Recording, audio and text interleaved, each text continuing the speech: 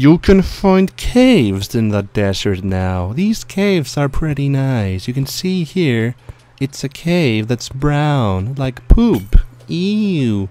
If you're lucky, you can find diamonds. Nope, this isn't Minecraft